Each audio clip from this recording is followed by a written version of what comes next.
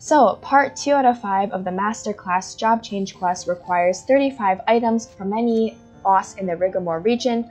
13.3 only gives one item despite having 3 bosses. These items are bank shareable. This means that you can leave a stronger character on part 2 out of 5 to farm these items, then bank share them to your weaker characters. This will essentially let you skip part 2 out of 5 on weaker characters. You only can have a max of 35 items on a character at a time. Putting the items in your pet, etc. will not allow you to continue farming the items. They must be moved to the share bank, etc. after.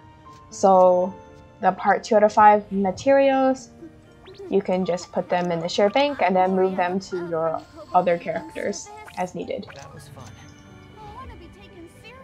Not all characters share the same materials.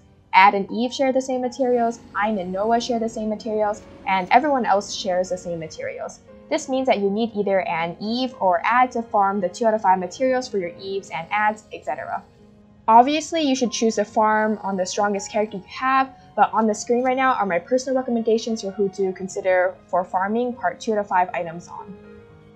The items needed for part 4 out of 5 for the Master Class Job Change quest are also bank shareable. All characters share the same items, so you can leave a stronger character on part 4 out of 5 and farm the items for your weaker characters. You must farm the items in the Master Class dungeon that corresponds with your character. For example, if you want to farm 4 out of 5 materials on a Raven or Elsword, you need to do 4 6. Because of this, I would highly not recommend you farm this on Rose or Rena because assuming you are running normal mode, 14.3 is by far the most time consuming normal mode Master Road dungeon. Also, I would caution against farming on Laby or Ada unless you have good gear on them because 14.1 is a solo dungeon and that would eliminate your choice of asking friends to run with and or carry you. If you want to make masterclass farming more profitable, you would want to only do 5 runs a day for the Rigomor daily quest that gives 25 amethyst. In doing the daily Rigomor quest, you should also take care of the Rigomor weekly quest. Masterclass job change requires 50 Rigomor dungeons total, and if you do 5 runs a day, you should end up with 450 amethyst, which is enough to craft a Rigomor armor piece which you can sell. If you want to speed up the process, you can consider farming the daily quest on multiple characters.